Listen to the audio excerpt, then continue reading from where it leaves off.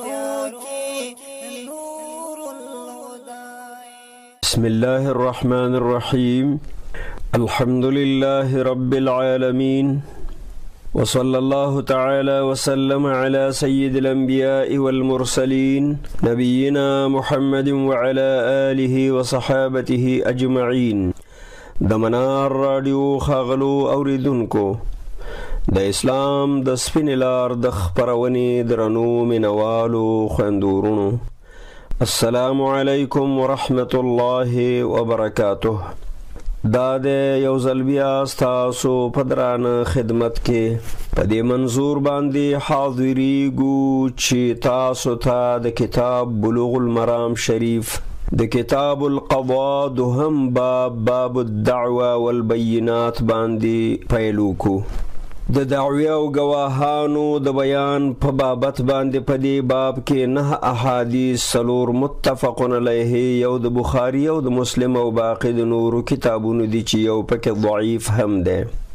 د لوی الله عز وجل په توفیق باندې د درس په پیل باندې شروع کو یو زرو دو سو لسم لمبر حدیث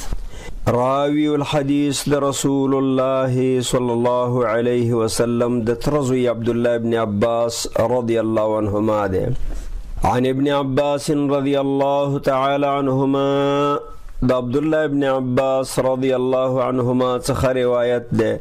ده فرمای چې ان النبي صلی الله علیه وسلم قال یقینا نبی کریم صلی الله علیه وسلم فرمایلی دی لو یعطى الناس بدعواهم کچر ته خلکو ته ورکې دی شولې خبره او مسئله د دوی د دعوی په اساس باندې لدعا ناس دماء رجال نو دعوی به کړی وی ځنې خلکو د وینو د ځنو خلکو و اموالهم او د هغوی په مالونو باندې ولكن اليمين على المدعى عليه لیکن یمین او قسم راجع دی هغه چاته چې پر هغه باندې دعوا کړې شوی وي دا حدیث متفق علیه ده وللبیهقی باسناد صحیح او بیهقی شریف کې په صحیح سند سره وارد ده مرفوعا د الفاظ چې البینه علی المدعی د ګواهانو راوستل او د ګواهۍ په میدان ودرول دا د مدعي د پاره حق دی چې د د ګواهان به په شهادت کې مقدم وي په قسم د مدعا علیه باندې والیمین علی من انکر او یمین او قسم ده پر هغه چا چې هغه انکار کړی وي د دې دواړو احادیثو مجموعه مطلب دا څه دی چې کچرته په یو مسأله کې دعوا راشي په یو مال کې جنجال راشي په یو حقوقي قضیه کې اختلاف راشي نو قاضي المسلمین با مدعی دعوه کوونکې مدعا علیه پر چا چې دعوه شوې ده دا دواړه سره بیلي ځان ته به معلوموي بیا د دعوی د اثبات ثبوت د پاره او د مسئلې د ګټلو د پاره به چې مدعی معلوم شي هغه ته به ویل کېدی شي چې راوله ګواهان او شاهدان دو شاهدان راوله او په ځینې قضیو کې څلور شاهدان او په ځنو کې د دین زیات هم چې قاضی المسلمین څنګه لازم غړي د قران او سنت پرانا کې نو شاهدان به ترنه وغواړي که شاهدانو شهادت حق پیش کړه د قاضی په عدالت کې په هغه طریقه باندې چې څنګه شهادت پیش کېدې شي او په دې گواهانو باندې د تزویر او د دروغ او د جعل دعوه نه وه دوی شهود عیان وو د هغې قضیې په رابطه چې دوی شهادتونه ورکول نو دعوا به مدعي وګټي او مدعا علیه ته څه پاتې نه شو خو که چېرته ګواهان موجود شي او هغه نا اهله وي او یا شاهدان او ګواهان د سره وجود ونه لري دعوه شته او شاهد او ګواه نشته نو بیا به قاضی الاسلام هغه مدعا علیه ته مخ راړی چې پر تا چې دعوه شوې وه هغه مدعی ګواهان او شاهدان را نوستل یا مردود ګرځېدل شابکه د خپلې ځان نه د دفاع په لار کې قسم وکه نو قسم به مدعا علیه ته راجی کیږي به به دا قسم چې د وکه نو دی به براءت الذمه ګرځیږي او د ته به بیا څوک مخ نشي راړولی چې ورکه مبلغ وای او موای او دا او هغه نو اسلام د دې ټینګار کړی دی چې مجرد دعوا هغه نشي قبلېدلی څو پورې چې دا دعوا په دلایلو شهود ګواهانو باندې ولاړه نه وي او که داسې عبس دعوې خلک شروع کړي شریعت هغې ته پام نه کوي هغه دعوی غیر مسموعه ګرځېږي هغه به د قاضي په عدالت کې نه اورېدلی کېږي توجه به ورته نه کېږي ولو که دغه مدعي ډېر لوی زورواکی وي ډېر لوی مجرم او اثیم او جنجالي دعوه جلاب وي د اسلام قاضي به د ادارې نه مدد غواړي چې شابه کوي دا زور واکه دا بیلار او دا ظالم او په ظلم مدعی انسان دا راونی سه او قضیه کې د ما سره کومک وکړي چې د په مخ کې ابلاغ وشي نو که د دې وروسته د نه منله نو بیا به قوت استعمالیدی شي د اسلامی سلطنت او د اسلامی حاکم د لوري به د قاضي د فیصلې احترام کېدی شي او هغه به تطبیقېدی شي په دې سره به عدالت تأمین شي او په دې سره به حق حقدار ته ورسیږي په دې حق عدالت او حق فیصله باندې به با نور خلکو ته عبرت حاصل شي چې مسلمان حاکم او مسلمان قاضي هغه په حق باندې فیصله کوي او کڅوک د دروغو دعوی راوړي او جعلي مزور او د دروغو جوړ شوي ګواهان مخې ته راولي نو هغه نشي قبلېدلی او بلکې برعکس په تعقیب عدلی کې به دغه انسان ته چې خلک پازابي هغه ته سزا ورکړی کېدی شي یا غرامه او مالی جرمانه یا نفسی زندان یا نور هغه تعذیر چې د اسلام قاضي مناسب وګڼي الله عز وجل د زموږ په هواد کې فیصلې د حق سټنډر او معیار ته برابر کاندي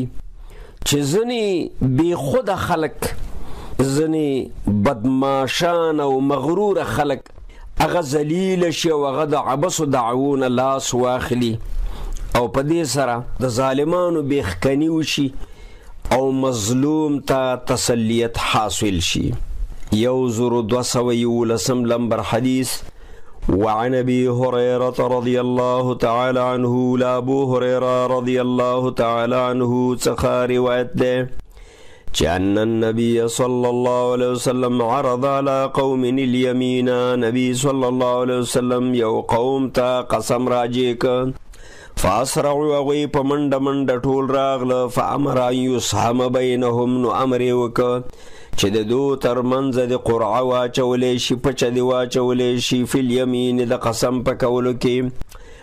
ایهم یحلف چې کوم د دوی نه قسم کوونکی دی نو پچه چې پچا وختله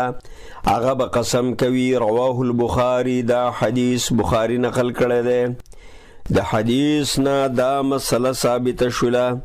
چې کله د مسلمانانو قاضي قسم راجی کې مدعا علیه ته او مدعی سره هیڅ ثبوت نوي او مدعا علیهم ډیر خلق وي او هر یو وایي چې دا دعوا زه ګټم په قسم کولو سره او قاضي د مسلمانانو فکر وکي او خپل علم په دې باندې راولي چې دا قسمونه ټول بیهوده او عبس دي په دروغ دي نو دالته به د ډیرو قسم کوونکو ترمنځ لکه مدعا علیهم ډیر وي او په هر چا باندې دعوه وي چې د ځان نه دا جرم وړاندې کې او دري کې نو قسم به په قرعه باندې راجی کیږي قسم کوونکې ته پچه به واچولی شي د ډیرو ترمنځ چې د چا پچه وختله اق ته به قسم ورکړی شي که دعوه ګټیم هغه به وګټي او که براعت د ذمې راځي هم د هغه به راشي نو شکل یې همدغه دی چې مدعي او مدعا علیه سره هیڅ قسم شاهدان نه وي او دواړه قسم ته تیار وي مدعي وای زه قسم کوم مدعا علیه وای زه قسم کوم نو قاضي الاسلام با د مدعي او مدعا علیه ترمنځ قراندازي وکي په داسې حال کې چې هیڅ دلیل د هیڅ یو سره نه وي دا یو ځان له شکل له بل شکل دا هم کې دی شي چې دواړه سره گواهان موجودي او یو یو گواهی ته تیری نو په خپل گواهی باندې بیا قسم ته هم تیاری نو بیا به هم قراندازی کېدی شي چې د چا پچه راووتله بس د هغه قسم هغه به مقبولی سره د شهادت نه یو زرو دو سو دولسم لمبر حدیث وعن ابی امامت الحارثی رضی اللہ تعالی عنہ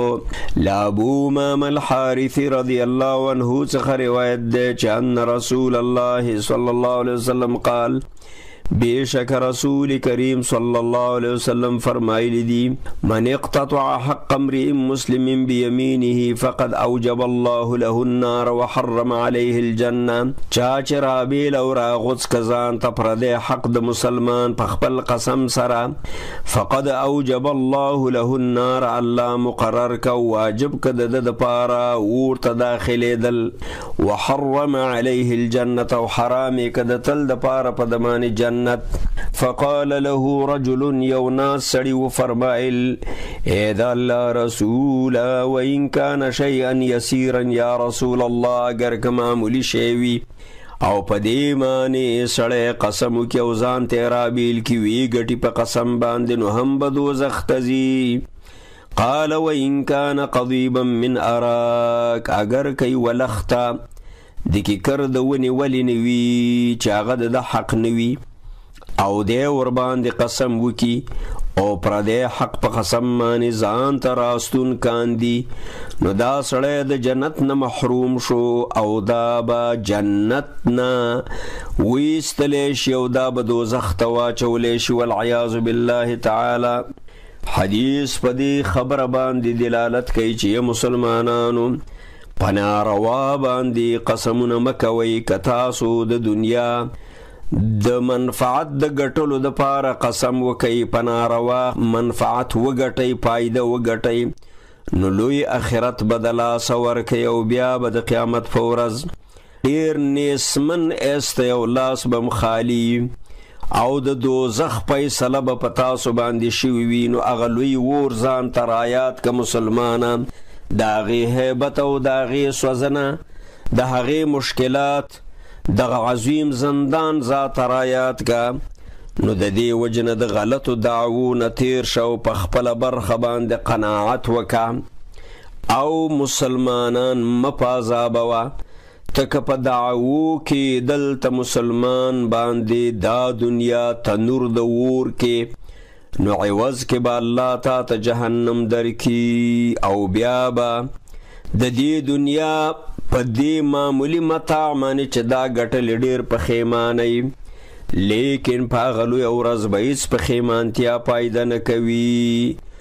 ځکه تا ته موقع او فرصت وو په دنیا کې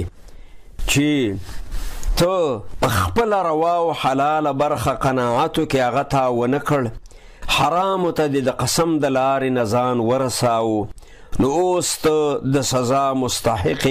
سزا ته ټینګ شه روایت صحیح مسلم کړی دی دولس سو دیار لسم لمبر حدیث وعن الأشعث بن قيس رضي الله تعالى عنه أن رسول الله صلى الله عليه وسلم قال لا شعص بن قيس رضي الله تعالى عنه څخه روایت ده ده فرمای چې رسول الله صلی الله علیه وسلم فرمای من حلف علی یمین چا چې پنا حق باندې داس یو قسم وکړ یقتطع بها مال امرئ مسلم چې را غوڅاوه یې ځان ته پردی حق د مسلمان مال وهو فيها فاجر او دا په دې کې په ناحق وو لقي الله وهو عليه غضبان د قیامت په ورځ به د الله سره مخامخ شي او الله به په د باندې ډیر زیات غوسه وي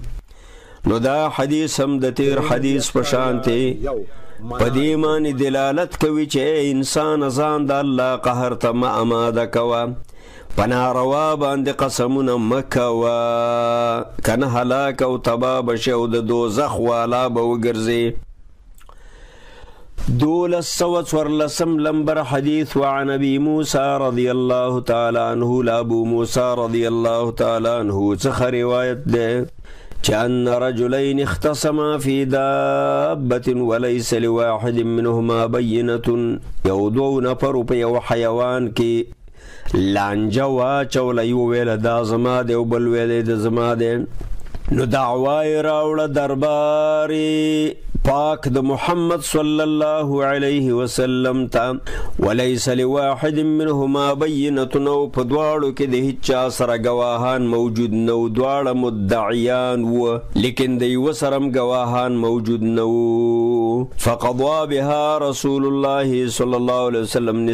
سپینې نو نبی علیه السلام فیصله وکړه چې دا څاروی او دا حیوان به دوه ځای شي په اعتبار د قیمت سره نیم قیمت به یو واخلي او نیم به بل واخلي ځکه ذلیدي د دواړو نه وه دعوا د دواړو مساوي وه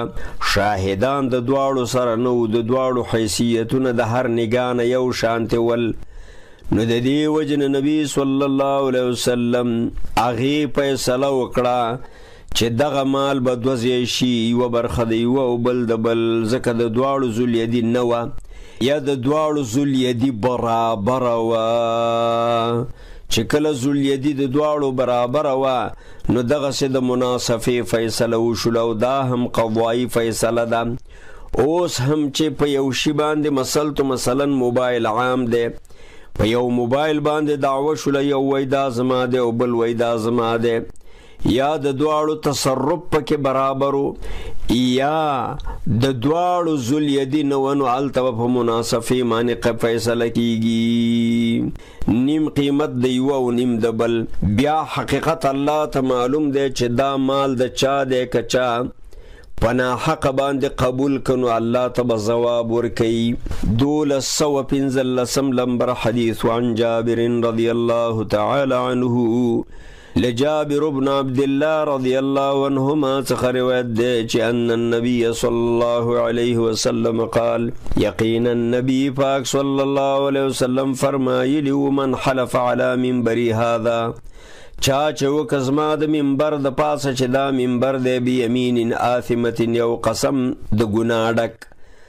تبوأ مقعده من النار نو ځان ته یې په دوزخ کې ځای ونیو، دی به دوزخي کېږي او دوزخ ته به ځي. روایت احمد ابوداود او نسائی نقل کړی امام ابن حبان صحیح بللی دی. نو دا حدیث په دې باندې دلالت کوي چې په مقدسو مقاماتو کې ګناه کول ګوره هغه ډیره زیاته لوی جرم لري جماعت مقدس دی په دې کې ګناه کول یو په څو څو چند عذاب لري د رسول علیه الصلاۃ والسلام مبارک منبر د هغه د مسجد مقام روزه کې قسم کول بیت الله کې قسم کول مینا او عرفات او مزدلفه کې قسمونه کول پناه حق باندې چی دعوا خپله وګټی موجب د عذاب الهی ګرځیږی مسلمانانو د دې نه خودداری وکئ په هیڅ ځای کې ګناه مه کوئ په ځانګړي توګه په مقدسو او پاکو مقاماتو کې ګناه مه کوه د دروغو قسمونه مه وایه ځکه د الله د قهر سره د مخامخ کېدلو خطره ده 1214 لمبر حدیث وعن أبي هريرة رضي الله تعالى عنه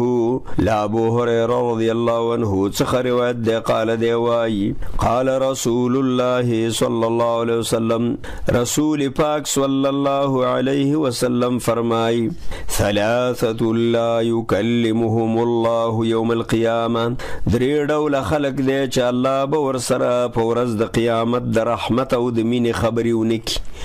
ولا ينظر الیهم نبوتا په نظر رحمت باندې وګوري ولا یزکیهم او نبه د ګناونو او جرمونو نه پاک کی ولهم عذاب الیم د دین اخوا د دوی د پاره به درناک عذاب می الله دې موږ د غدری قسم انسانانو د احوال نو وساتي رجل یو غ ظالم سړی دی علی فضل ما ام بالفلات چې دی رشوی په اضافه وبو معنی په یو دشته کې چې دا وب اسماني دي چینه د او نهر او یاله د وغه قبضه کړی دا یمنعه من ابن السبیل چې ساری کړی د مسافر نه مسافر ته نه ور کوي ورجل بايع رجلا بسلعه او دویم هغه سړی دی چې په خپل سودا باندې قسمونه کوي بعد العصر د مازیګر نرستا چې وخت د عبادت او د توبې دی او دا په دروغ باندې قسمونه کوي فحلف له بالله نو بل ته قسم ورکوي په نوم د الله باندې چې ای پلانه یا والله چې دا مال ما په خپل په دونه دونه باندې اخسته دی او حقیقت داسې نه وي او هغه پې باور وکړي. لاخذها بکذا وکذا په خپله مې اخستی دی په دونه دونه روپو فصدقه نو مشتری په ده باندې باور وکړي وهو علی غیر ذلک او دا خبره په دغسې حقیقت باندې ولاړه نه وي دروغ وایي مال د لس زره روپو نه وي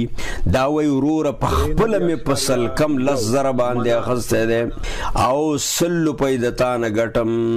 او حقیقت داسې نه وي نو چې کله یې قسم وکړ نو ځان یې د الله په قهر باندې اخته کړ ورجل بایع اماما او دوهم هغه څوک د الله په قهر اخته دی چې هغه بیعت کړی د مسلمانانو د امیر او حاکم سره د یو خلیفه سره بیعت کړی وي د هغه سره لوز کړی چې د الله حکمونه او د نبی طریقې به منم او ستا مشرۍ ته تسلیم یم ته زمونږ سلطان او امام او حاکم او زه د تا سره لوز کوم چې د تا سره وفادار پاتې کېږم لا یبایعه الا لدنیا دا بیعت نه کوي مګر د دنیا د لوټونو د پاره نه د اخرت د آبادولو د پاره فإن أعطاه منها وفا کچرته حاکم او امام دله څه ورکوي د دې دنیا نه د دا وفاداري په بیعت کې وإن لم يعطه منها لم يفع او که څه نه ورکوي نو دی وفادار نه که په وظیفه کې چلیږي او تنخواګانې اخلي نو بالکل وفاداري که د مسلمانانو حاکم دا د څه حکمت د وجه نه لري کې د وظیفې نه نو دی به خاین شي او دی به په مخالفت د اداره کې ودريږي نو دغسې انسان د الله په قهر باندې اخته دی حدیث نه دا مسله ثابت شوله چې موږ ټول په ورځ د قیامت د الله خایسته او خبرو ته محتاج یي د الله د مینې نظر ته محتاج یي دې ته محتاج یي چې الله زمونږ تصفیه او فاکواله راولي او د دوزخ د اور نه امان راکړي نو دا چانسونه به موږ هغه وخت د لاس ورکوو چی یا کار خیر نه خلک منع کو لکه هغه څوک چې دولتی اوبه سلطانی اوبه فخپل منفعت معنی اشغالی او د نورو خلکو نه راستنی دویم هغه څوک چې هغه د مازیګر نرستو په ناروا باندې قسم کوي په خپل سودا درواغ پکې وای دریم هغه څوک چې د دنیا د منفعت د فار لوزونه کوي د مشر سره د وفادارۍ لوړې کوي او بیا ور باندې وفاداری نه کوي نو دین اسلام د صدق او د ایماندارۍ دین دی او د خیانتونو په دې کې ځای نشته هر مسلمان چې اسلام کې داخل کې خیانت وکړ نو د دې خیانت به لوی بوج دی پورته کوي او په ورځ د آخرت به د ډیرو مشکلاتو سره مخامخي یو زرو دوه سوه اوولسم لمبر حدیث وعن جابر رضی الله تعالی عنہ لجابر رضی الله عنه څخه روایت ده چې ان رجلین اختصما فی ناقه یو دو نفر لانجوا چولو نبی علیہ السلام ته راوړ په بار د اوخو کې اوخه فقال كل واحد منهما نتجت عندي نو هر یو دا ویل چې دا زما کرا لنګ شوی دا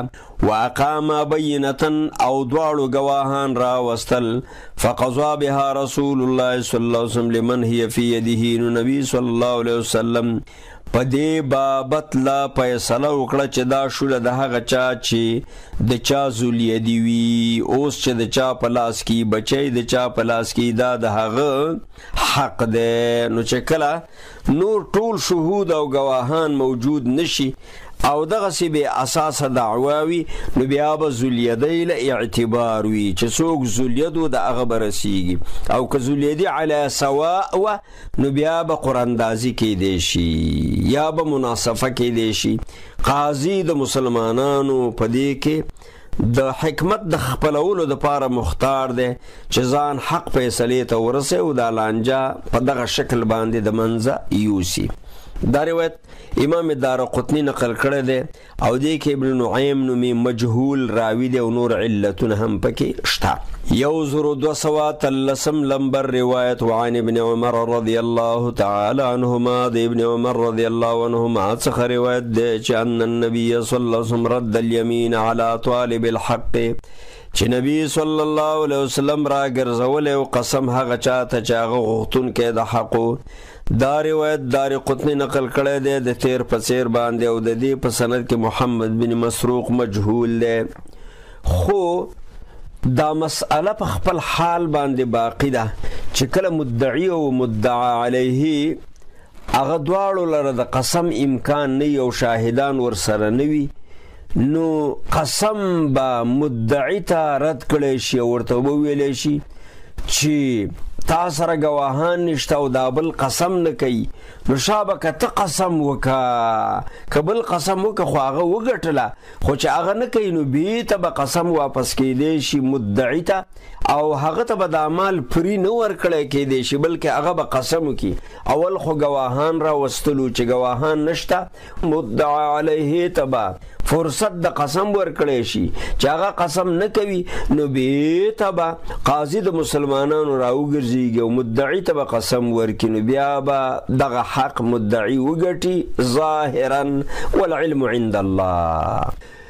یو زرو دو سو ننسم لمبر حدیث وعن عائشة رضی اللہ عنہ قالت لأم المؤمنین بی بی عائشہ رضی اللہ تعالی عنہ څخه روایت ده ده وی دخل علی النبی صلی اللہ علیہ وسلم ذات یومن یو ځلې نبی کریم صلی الله علیه وسلم زموږ کره راغی تبرق اثاری رو وجهه مسرورا ډیر خوشاله او چې د مخ دا کرخي زلې دي فقال وی ویل عائشه علم ترای ګور خو نه کنه پام وکا ان مجززا المدلجی یا ماهر قافیه شناس مجزز مدلجی راونه او ته نظر آنفا لږ ساعت مخکې قتل وکړی الی زید ابن حارثه او اسامه ابن زید پلار او زوی زید ابن حارثه او اسامه ابن زید رضی الله عنهما ته وکتل فقال وی ول هذه الاقدام بعضها من بعض دا قدمونه دا شخکاری چې یو د بل نه پیدا دي حدیث متفق علیه ده د دې حدیث قصه داسې وه چې زید ابن حارثه سپین سور ډولې سړی و هغې یوه توره ښځه په نکاح کړه ام ایمن رضی الله تعالی عنها د هغې نه تور زوی پیدا شو د اسامه په نوم باندې ونومولی شه نو اسامه تور موري تور وا پلاري سر سپین تازه نو بیا به خلکو خبرې کولې چی دا اسامه د خپل پلار نه دی پیدا شوی او دا خبره د پریشانۍ و چې مسلمان بلا دلیل او بلا ثبوت د چا په نسبونو کې ګوتی وای چې په پلانی نسب کې پلانې د زنا نه پیدا دی او پلانې ځکه پلار ته نه دی تللی او مور ته نه دی تللی د دې خبرو نه خودداري په کار د مسلمانانو دا ګوره د ایمان سودا ده که څوک داسې ډرامې په چا پسې کوي نو بیا به د قیامت په ورځ لوی خجالت برداشت کوي ځکه ډیر ځله پلار او زوی مور او زوی هغه په رنګونو کې مور او لور په رنګونو کې یو بل نه جدا او جلا رنګ اختیار کی او هغه حقیقتا د خپل پلار او د مور څخه پیدا وي د دې مانا به دا نه وي چې د رنګ تفاوت موجود دی، نو اوس به دلته فراق د نسب راځي او نسبونه به جدا کېږي، نه، وګوره دغه ماهر انسان چې قافیه شناس تو، نو هغه راغی او په اسامه او د هغه په پلار زید رضی الله عنهما باندې څادر پروت و، دواړه وده ول. نو ده چې دې قدمونو ته له وکتل وای دا که څه هم د یوه رنګ یو شان دی او د بل رنګ بل شان دی خو زما مهارت دا وایي چې دا قدمونه یو د بل نه پیدا دي یو یې پلار دی او بل یې زوی دی نو هغه حقیقت چې هغه واقع الامر هغه څرګند او معلوم شه نبی کریم صلی الله علیه وسلم ډیر خوشاله شه او د قافیه شناس دغه قافیه پیژندلو ته توجه ورکړله او هغې له اعتبار ورکه نو په قافیه باندې حکم کېدی شي چې کنه نور ټول دلائل هغه د منځه ولاړ شي نن سبا خو چې کله د پلار زوی او د مور او زوی ترمنځ مشکل پیدا شي چې دا د دنه دی او کنه دی نو ډینه ماینه د هغه اجرا کیږي او چې کله طبيب ماهر وي اسباب برابر وي او قاضي د مسلمانانو دا خبره دغه معاینه ته راجی کی نو معاینه چې څه فیصله وکړه هغه فیصله باندې به با عمل کې دی شي کچرته نور هیڅ قسم دلایل موجود نه وو نو دا اهم یو علم دی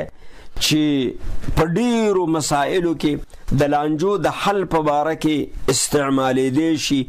مسلمانانو یو ځل بیا تاکید کوو چې د بیهوده خبرو د بیهوده الفاظو